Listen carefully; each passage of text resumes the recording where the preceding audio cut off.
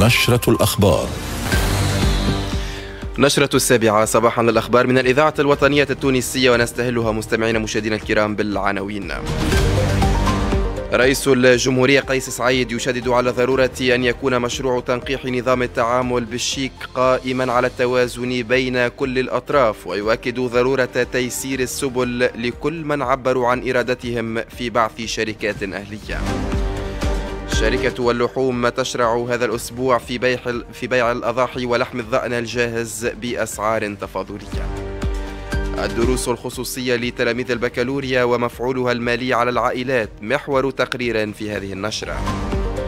وفي قطاع غزة استشهاد ثلاثة فلسطينيين فجر اليوم في قصف صاروخي استهدف مخيم البريش.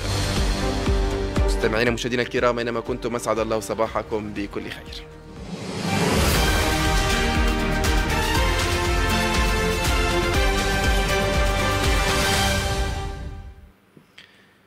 شدد رئيس الجمهورية قيس سعيد في اللقاء الذي جمعه أمس بوزيرة العدل ليلى جفال. شدد على أن مشروع تنقيح عدد من فصول المجلة التجارية المتعلقة بنظام التعامل بالشيك يجب أن يكون قائما على التوازن بين كل الأطراف من الساحب والمسحوب عليه والمؤسسات المصرفية والمالية. ويقطع نهائيا مع النظام القانوني الحالي ومد وما أدى إليه من ضحايا. وأكد رئيس الجمهورية ضرورة أن يكون مشروع التنقيح قائما على التوازن المنشود وفي الوقت ذاته مكملا وموضحا ورافعا لكل لبس يتعلق بمشروع القانون المتعلق بتنقيح الفصل الحادي عشر بعد الأربعمائة من المجلة التجارية.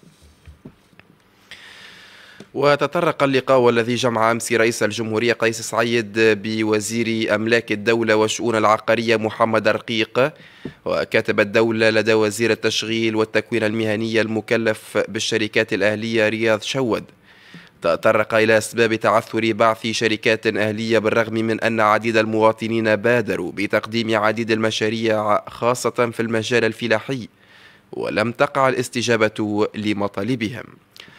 وأسدى رئيس الدولة تعليماته بتذليل كل العقبات خاصة منها تلك التي يتم افتعالها لأنه لا مجال لتواصل إقصاء الشباب والعاطلين عن العمل في حين يقع تسويغ أراضي الدولة الفلاحية بسهولة وبأبخس الأثمان لمن لا يستحقون وفي آجال مختصرة. كما أكد أن كل مسؤول محمول عليه تطبيق القانون وتيسير كل السبل لكل من عبروا عن إرادتهم في بعث شركات أهلية. وأكد رئيس الجمهورية قيس سعيد خلال اجتماعه أمس بكل من وزير الفلاحة والموارد المائية والصيد البحري عبد المنعم بالعاتي وكاتب الدولة لدى وزير الفلاحة والموارد المائية والصيد البحري المكلف بالمياه رضا جبوج أكد ضرورة تعاهد السدود بالصيانة لأن بعضها غمرته الأتربة إما بصفة كاملة أو بشكل قلص بشكل كبير من قدرتها على تخزين المياه.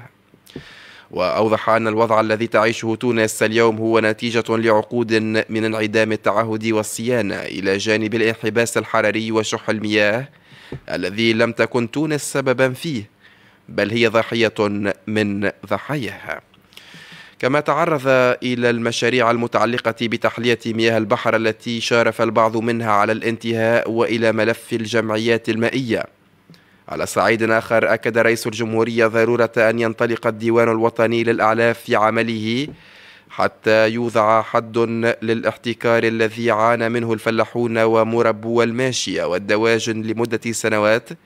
وأثر سلبا على إنتاج الحليب وتسبب في تقلص ثرواتنا الحيوانية وارتفاع الأسعار. كما تعرض كذلك رئيس الدولة إلى الفلاحة في الصحراء التونسية والعمل سريعا حتى تكون بدورها مناطق خضراء. في موضوع آخر تشرع شركة واللحوم بداية من يوم السبت القادم في بيع أضاحي العيد بسعر 21 دينارا و900 مليم للكيلوغرام الحي. وذلك بمقرها الرئيسي بالوردية مع توفير أربعة آلاف أضحية. المدير العام لشركة اللحوم طارق بن جازية والتفاصيل.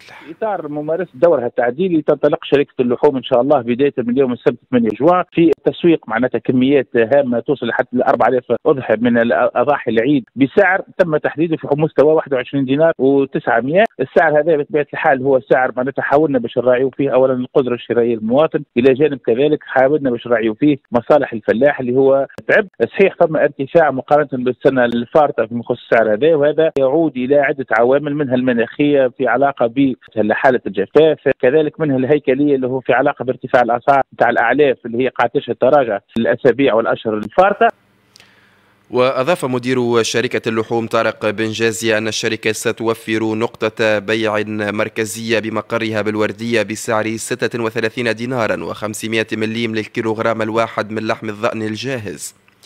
كما سيتم فتح سوق الدواب التابع للشركة للعموم انطلاقا من يوم الخميس المقبل لضمان الشفافية التامة في المعاملات. شركة اللحوم هي في إطار الاستعدادات نتاعها كذلك تتوفر. نقطة البيع المركزية نتاعها بالشركة في الوردية لحوم حمراء اللي هي فريشكا نتاع تونس معناتها ولحم ضان محلي بسعر مناسب في حدود 36 دينار و500 للكيلو. وهذا معناتها بطبيعه الحال وزارة التجارة ثقفت أسعار اللحوم الحمراء في مستوى 43 دينار وهذا قرار هام جدا. سيمكن نوعا ما من الحد من الارتفاع الصاروخي في أسعار اللحوم الحمراء. إلى جانب كذلك عندنا سوق الدواب نتاعنا في الشركة اللي هو يفتح الأبواب نتاعه بداية من يوم الخميس لعموم المواطنين وكذلك للقصابين والمربين وطبيعه الحال مع توفير كافة ضمانات وشفافية المعاملات في مستوى سوق الدواب نتاعنا اللي هو يعتبر من أكبر أسواق الدواب في الجمهورية التونسية.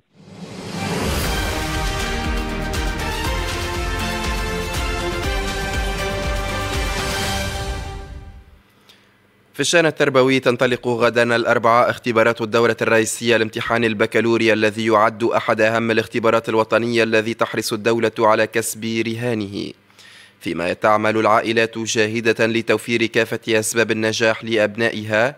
من ذلك تمكينهم من الدروس الخصوصية التي أضحت اليوم تثير جدلا خاصة فيما يتعلق بتكاليفها.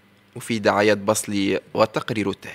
في سباق الأمتار الأخيرة قبل الانطلاق يسابق المترشحون لامتحان البكالوريا الزمن للتزود بأوفر قدر ممكن من المعلومات والشروحات ليستدركون من خلال الدروس الخصوصية ما فاتهم ويستوضحون ما أشكل عليهم خلال الموسم الدراسي. استطلعنا آراء عدد من المترشحين للبكالوريا بالخصوص. بالنسبة لي أنا bac info راهي ال maths. ضروري برشا. أما physique وكل هذاك تنجم تقرأ في الدار وحدك تنجم تفهم. ال algorithme كيف كيف لازم تفهم. الأكثرية الاساتذه ما يعطيوش كل شيء. تجربتي مع الدروس الخصوصية كانت مفيدة على الآخر في الفلسفة الحقيقة ما دخلتش من أول العام دخلت عند أستاذ وتجربة ما كانتش ناجحة على خاطر groupe معبي دخلت عند أستاذ آخر ومن اللي كنت نجيب في أعداد خايبة على الآخر حسنت مصاريف ضخمة. نقرأ عربية ونقرأ فلسفة وتاريخ وجغرافيا. كلفه نتاعهم ما يقارب 800 دينار. دروس خصوصية يخليوك ت révise à jour les matières رئيس جمعية أولياء التلاميذ رضا الزهروني أكد في تصريح للأخبار أن الدروس الخصوصية شر لا بد منها. اللي نأكدوه هو أن الدروس الخصوصية أصبحت في نفس الوقت نعمة ونقمة. شر لا بد منه. اليوم التلميذ التونسي البنية ولا الوليد اللي ما يقراوش الدروس الخصوصية منذ آه، بداية مسارهم الدراسي. من الصعب جدا جدا باش ينهيوا هالمسار هذايا وينشوا لكن المشكل أنه فما سلوكيات لا أخلاقية.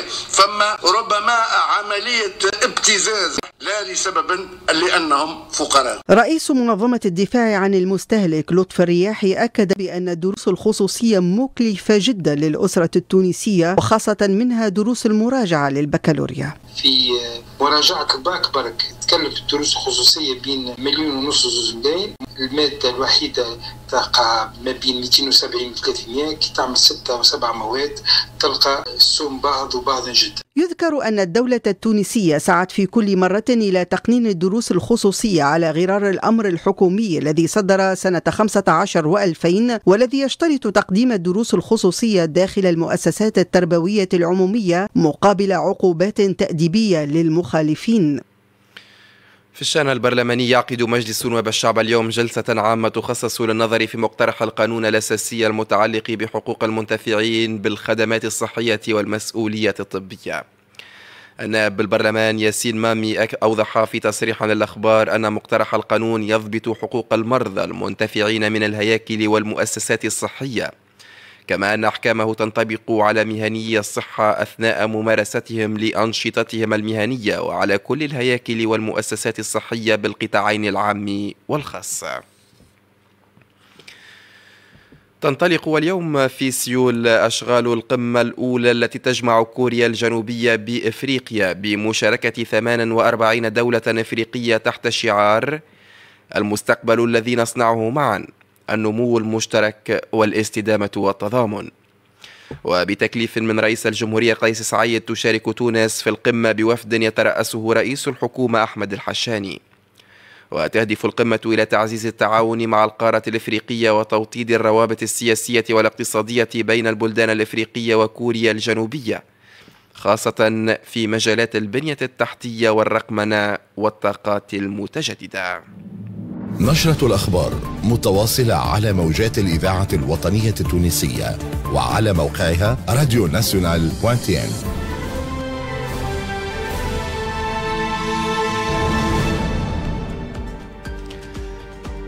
إلى آخر التطورات في قطاع غزة فقد استشهد ثلاثة فلسطينيين وجرح آخرون فجر هذا اليوم في قصف صاروخي استهدف منزلا بمخيم البريج وسط القطاع. كما أعلنت كتيب شهداء الأقصى استشهاد اثنين من أفرادها خلال اشتباكات مع جيش الكيان الصهيوني في طول كرم بشمال الضفة الغربية. ليرتفع بذلك عدد الشهداء في الضفة إلى خمسة خلال ساعات قليلة. إنسانيا أكد مكتب الإعلام الحكومي في القطاع أن أكثر من 3500 طفل في قطاع غزة معرضون لخطر الموت بسبب سياسات التجويع الصهيونية. دبلوماسيا أعلنت الولايات المتحدة الأمريكية أنها ستطلب من مجلس الأمن الدولي تبني قرار يدعم مقترح وقف إطلاق النار في القطاع. في المقابل قال عضو المكتب السياسي لحركة حماس حسام بدران قال إن الحركة لم تتسلم أي ورقة جديدة لوقف إطلاق النار في غزة والمقترح الذي قدمه الوسطاء في السادس من مايو الماضي ووافقت عليه حماس وفصائل المقاومة هو الموقف المعتمد رسميا حتى هذه اللحظة. إلى هنا نصل إلى ختام هذا الموعد الإخباري الصباحي المفصل. قدمناه لحضراتكم من الإذاعة الوطنية التونسية. إليكم تذكيرا بأبرز ما جاء فيه. رئيس الجمهورية قيس سعيد يشدد على ضرورة أن يكون مشروع تنقيح نظام التعامل بالشيك قائما على التوازن بين كل الأطراف ويؤكد ضرورة تيسير السبل لكل من عبروا عن إرادتهم في بعث شركات أهلية.